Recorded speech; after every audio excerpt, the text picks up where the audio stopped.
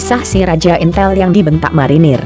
Aktivis Ratna Sarumpait menghubungi Gubernur DKI Jakarta Anies Baswedan sambil marah-marah karena mobilnya diderek petugas dishub, lantas petugas pun memulangkan mobilnya. Masalah memang selesai. Namun, insiden ini terlanjur viral di lini masa. Dan Fajar Sidik anggota DPRD DKI Jakarta fraksi Gerindra juga mengamuk kepada dishub. Perkara sama. Mobilnya berhenti sembarangan di tempat parkir liar. Dia menolak seraya mengunjuk diri sebagai anggota dewan. Dia malah mengancam akan membawa masalah penderekan mobilnya ke dewan. Ratna dan Fajar seharusnya belajar dari Beni Murdani, perwira intelijen era Orde Baru yang kemudian menjadi Panglima ABRI periode 1983 sampai 1988. Sebagaimana dikisahkan Julius Sport dalam biografi Beni Murdani, profil prajurit negarawan, sekali waktu, Beni sowan ke kantor Kop Kamtip hendak menjumpai Panglima Laksamana Sudomo. Kunjungan Beni berkaitan dengan posisinya yang memangku jabatan penting sejumlah biro intelijen, asisten intelijen, Asintel, Hankam, Asintel Kop Kamtip, dan Wakil Ketua Bakin, Kini Bin. Dia pun menjadi Kepala Pusat Intelijen Strategis, Kapusintel Strat, di Pertahanan dan Keamanan.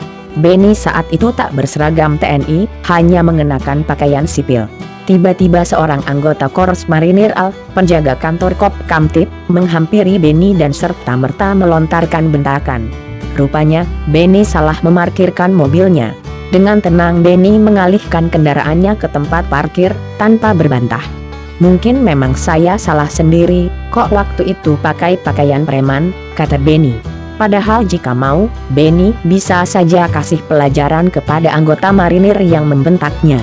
Jurnalis Australia, David Jenkins mengungkap betapa luasnya kekuasaan Benny menindak dan mengintimidasi. Dalam kapasitasnya sebagai Asintel Kop Kamtip, Benny juga menjabat sebagai Kepala Satuan Tugas Intelijen, Satgas Intel. Dalam hal ini, dia punya wewenang menggunakan aturan Kop Kamtip untuk menahan orang selama 48 jam atau lebih. Sebagai Kapusintel Strat, dalam keadaan darurat dia punya wewenang kontrol operasional terhadap pasukan Kopasanda, yaitu 5.000 tentara komando. Namun bagi Benny, sebagai orang intel, dirinya merasa beruntung tak terlampau dikenal halayak. Sebagaimana dituturkan Sport, ketika Benny sudah berbintang dua, seorang kolonel masih juga sempat bertanya kepada penjaga markas Hankam, lo siapa jenderal itu? perwira ABRI saja nggak kenal saya, kata Benny.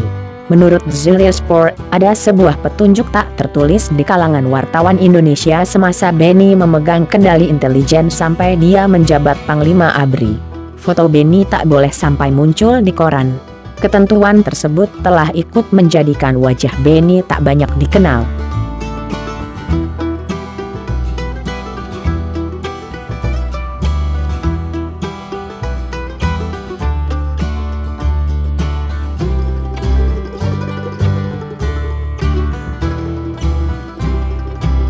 semangat dan selalu mencintai NKRI. NKRI harga mati. Mwah.